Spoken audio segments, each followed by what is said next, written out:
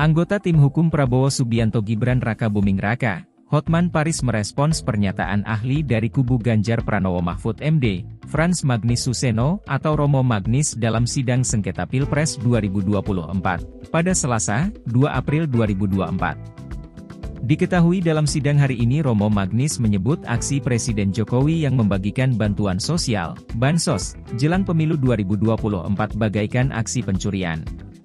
Menanggapi hal tersebut, Hotman menegaskan bahwa bansos yang dibagikan oleh Presiden Jokowi itu sudah berdasarkan data yang ada.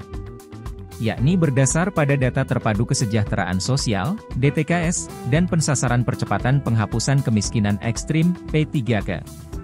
Lebih lanjut Hotman menerangkan, Presiden Jokowi hanya secara simbolik di awal membagikan bansos sesuai dengan data yang ada di kementerian. Hotman kemudian memastikan bahwa Presiden Jokowi tidak pernah membagikan bansos di luar data yang ada. Hotman lantas mempertanyakan, dari mana Romo Magnis tahu bahwa Presiden itu seolah mencuri uang bansos untuk dibagikan. Padahal Romo Magnis sendiri tidak mengetahui bagaimana praktek pembagian data bansos. Ini jenisnya adalah on rehmateh over dalam bahasa. Artinya sebuah perbuatan melanggar hukum oleh kekuasaan pemerintahan. Inti dari gugatan ini sangat berbeda dengan gugatan yang lain. Di tempat lain di MK misalnya.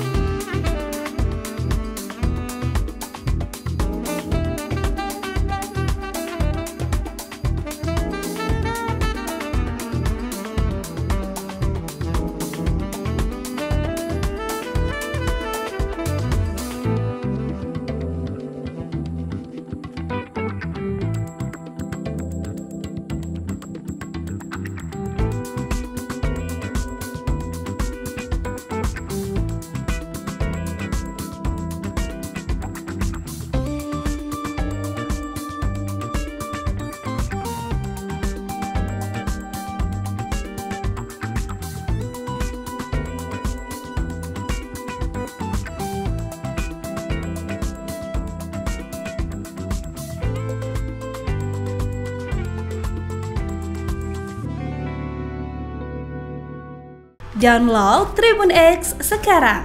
Menghadirkan lokal menjadi Indonesia.